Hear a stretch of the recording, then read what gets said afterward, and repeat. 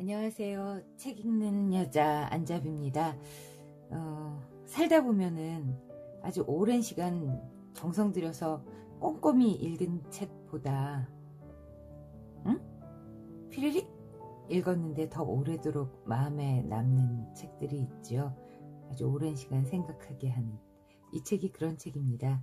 나와 개의 시간 카에 블랙바드라는 사람이 그리고 썼어요.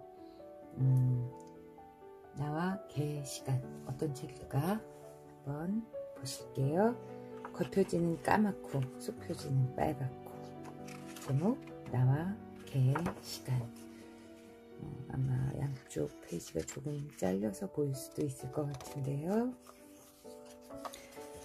이것은 블랙독과 함께 살아가는 삶에 대한 이야기입니다. 나를 잘 아는 사람들은 내가 블랙독과 함께 산다는 것을 알고 있어요. 숨길 생각도 없고 비밀도 아니지만 그렇다고 여기저기 떠들고 다닐 만한 얘기도 아니죠. 누군가에게 블랙독을 소개하기 전 난 시간을 조금 갖는 편입니다. 사실 녀석은 꽤 까다로운 놈이거든요. 녀석은 착한 개가 아닙니다. 나는 태어났을 때부터 블랙독과 함께였어요. 병원에서 집으로 올 때도 함께 왔죠. 처음엔 두 귀를 납작하게 붙이고 정말 얌전하게 있었어요. 너무나 온순한 존재였죠. 블랙독이 나를 처음 문 건 세 살 때였어요. 내가 녀석을 처음으로 정확히 바라본 순간이었습니다. 녀석은 똑바로 쳐다보는 걸 싫어했어요. 그 일은 내게 선명한 상처를 남기고 말았습니다. 그 뒤로는 아주 조심하게 됐어요. 블랙독은 내 주변을 어슬렁거리기, 어슬렁거리기 시작했죠. 꼭 반려견처럼. 하지만 놈에게 날카로운 이빨이 있다는 걸 잘 알고 있었죠. 나는 무시하려고 애썼습니다. 녀석은 가끔 내 발목을 핥히기도 했어요. 내가 사춘기에 접어들었을 때였습니다. 뭔가가 녀석의 심기를 건드렸는지 블랙독은 이성을 잃고 미치광이처럼 날뛰었죠. 블랙독은 달려들어 내 위에 올라타서는 얼굴 위로 거친 숨을 몰아쉬며 내 목에 이빨을 들이댔어요. 난 녀석을 떨쳐낼 수도 그 밑에서 빠져나올 수도 없었습니다. 블랙독에게 압도당하는 느낌이었죠. 말했다시피 녀석은 착한 개가 아니었어요. 15살이 됐을 때 내 몸은 온통 상처투성이가 되었습니다. 그러다가 녀석을 통제하려면 도움이 필요하다는 걸 깨달았습니다. 목줄은 고사하고 목걸이조차 채울 수 없었으니까요. 여러 전문가들에게 블랙독을 훈련하고 통제하는 기술을 배워 시도했습니다. 그 방법들이 어느 정도 성과를 내는 데까지 몇 년의 시간이 걸렸고 그동안 나는 좀처럼 다른 걸 할 수가 없었습니다. 녀석이 내 삶을 완전히 지배했으니까요. 블랙독은 내 인생 그 자체였습니다. 블랙독은 여느 개들처럼 행동했어요. 주인에게 선물을 가져다 주는 뭐 그런 거 말이에요. 슬픈 시, 싸구려 보드카, 고통을 노래한 글, 인터넷 블로그. 대부분은 쉽게 예상할 만한 것들이었죠. 그중 어떤 것들은 여전히 보관하고 있지만 어떤 건 전혀 필요 없는 것이었습니다. 블랙독은 경비견이 아닌데도 나를 늘 지켜보고 있었습니다. 도움이 필요한 순간에도 아무것도 하지 않은 채 그저 지켜보기만 했죠. 어떤 땐 내가 원하는 것과 나 사이에 끼어들어 회방을 놓기도 했어요. 그게 위협인지 아닌지 정확히 알아차리는 건 녀석에겐 어려운 일이었을 거예요. 다른 건 몰라도 블랙독은 믿을 만한 존재이긴 합니다. 어쨌거나 항상 내 옆에 있으니까요. 난 결코 혼자가 아니에요. 때로 녀석을 바라보고 있으면 마음이 편안해집니다. 또 가끔은 내가 누구인지 상기시켜주기도 하죠. 나는 엄연히 블랙독의 주인입니다. 블랙독은 예술작품에 관심이 많아요. 많은 예술가들이 아주 크고 괴팍한 개를 기르고 있죠. 예술작업은 개를 얌전하게 잠재우기도 해요. 또한 주인을 잠시 개에게서 벗어나게 해주기도 합니다. 가끔은 애써 완성한 작품을 망쳐놓기도 하지만요. 어떤 때는 블랙독이 내 작업을 완전히 가로막기도 합니다. 녀석이 잠든 틈을 타 겨우 간단한 작업만 할 수 있는 날도 있어요. 그런 날은 그 짧은 순간을 마음껏 즐깁니다. 하지만 녀석이 언제 깰지 모르니 온전히 작업에 집중하기란 정말 쉬운 일이 아닙니다. 그런가 하면 블랙독으로부터 영감을 받은 작품도 있어요. 나는 사람들이 블랙독을, 블랙독과 더불어 일할 수 있고 심지어 블랙독을 밀어내기 위해 일할 수도 있다는 걸 깨달았어요. 나를 가로막는 블랙독을 견뎌내고 때론 온 힘을 다해 싸울 때 오히려 더 좋은 결과가 탄생하기도 한다는 걸 알게 됐죠.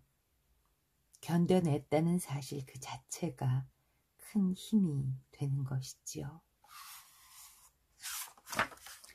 블랙독은 보통 내게 상처를 입히지만 가끔은 생명을 위협하기도 했습니다. 나는 살아남기 위해 열심히 일했고 지금도 열심히 노력합니다. 하지만 블랙독에게 완전히 잠식돼 살아남지 못한 이들도 있어요. 그들이 열심히 하지 않았다는 뜻은 아닙니다.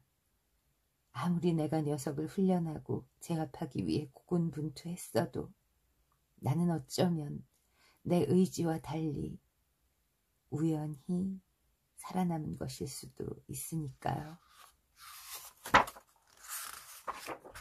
요사이 블랙독은 꽤 조용히 지냅니다. 몇 년 동안 난폭하게 군 적도 없고요. 이젠 무엇이 블랙독을 화나게 만들고 진정시키는지 알고 있습니다. 녀석이 멋대로 행동할 때 어떻게 방어하는지 배웠습니다. 녀석에게 물렸을 때 어떻게 턱 사이에서 빠져나오는지 또 어떻게 거리를 두는지도요. 그리고 상처를 더 빨리 아물게 하는 방법도 배웠죠. 난 블랙독을 친구네 개들과 함께 놀게 해요. 사촌에게 커다란 개가 있는데 녀석은 그 개와 잘 어울려 놉니다. 그렇게 다른 이들이 자기 개를 어떻게 다루는지 서로 보고 배우는 거죠. 또 개들은 친구들과 놀다 보면 피곤해져서 우리에게 쉴 틈을 주기도 합니다. 지친 녀석들은 짖기도 귀찮아 하거든요. 정말 멋진 일이죠. 블랙독이 모든 개들과 잘 어울리는 건 아니에요. 어떤 때는 오랜 훈련이 소용없을 만큼 개들끼리 서로 짜증을 돋우며 싸우기도 합니다. 또 개를 키워본 적이 없는 사람들은 일부러 녀석의 화를 돋우기도 하더군요. 그러면서 어떤 사람이 내 개에게 별로인지 알아차리는 법을 배우지요. 나는 일주일에 한 번, 한 시간에 150달러를 들여서 녀석을 조련사에게 데려갑니다. 살면서 쓴 가장 의미 있는 돈이기도 해요. 그리고 하루에 두 번 간식을 줍니다. 훈련을 기억, 기억시키기 위해서죠. 모든 개들에게 간식이 필요한 건 아니지만 녀석에게는 필요하죠. 녀석은 이제 내가 시키는 대로 거의 매번 앉고 산책할 때면 졸졸 따라오고 대부분은 그냥 조용히 잠을 잡니다. 그렇게 블랙독을 다루는 게 조금 수월해지고 녀석을 신뢰하게 되면서 나도 마음이 놓이게 되었습니다. 지금 블랙독의 훈련 수준은 나 혼자 조절하려던 때보다 훨씬 좋은 상태입니다. 물론 녀석은 얌전할 때조차 자신이 내 일부라는 걸 보여주려고 무던히 애쓴답니다. 한밤중에 깨우려고 지저대는가 하면 열차 승강장에서는 뒤에 바짝 달라붙어 승강장 끝으로 나를 밀어버리려 하기도 하지요. 나는 평생 녀석에게서 벗어날 수 없을 겁니다. 나이가 들면서 세상에 너무나도 많은 개들이 있다는 걸 알게 됐습니다. 나는 오랫동안 내 세상 너머를 볼 수 없었어요. 하지만 한 발짝 물러서서 보니 누구나 자기만의 블랙독과 함께 살아가고 있다는 게 보이기 시작했습니다. 어떤 개들은 더 크거나 더 작고 혹은 더 심술궂거나 더 상냥하기도 해요. 블랙독은 어디에나 있었습니다. 때로 아주 작고 순해 보이는 녀석이 가장 못된 개가 될 수도 있죠. 이제는 녀석이 내 말을 듣지 않아도 그리 당황스럽지 않아요. 녀석이 화내며 크르렁거려도 더는 두렵지 않고요.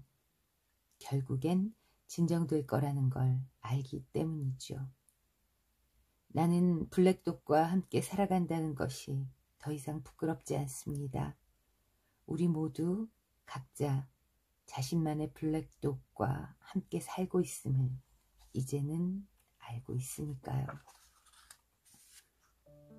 감사합니다. 작가가 감사하는 모든 분들의 이름을 음, 불러준 페이지네요. 그래요.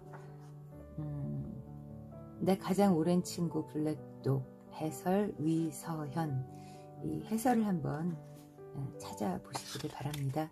그러나 꼭 해설이 없더라도 어, 이 책이 의미하는 바를 느끼실 수 있었을 거라고 생각돼요. 우리 모두는 크건 작건 성격이 까칠하건 순하건 누구나 다 자기만의 블랙독을 가지고 있다는 작가의 깨달음 그리고 좀 심한 블랙독을 가진 사람들이 있지요. 우리가 그들을 향해서 조금 더 열린 마음을 가져야 하지 않을까 네, 아이고 전혀 앵글이 안 맞는 상태에서 떠들고 있었네요. 네, 책 읽어드리는 안잡이 오늘 나, 나와 개의 시간 읽어드렸습니다. 감사합니다.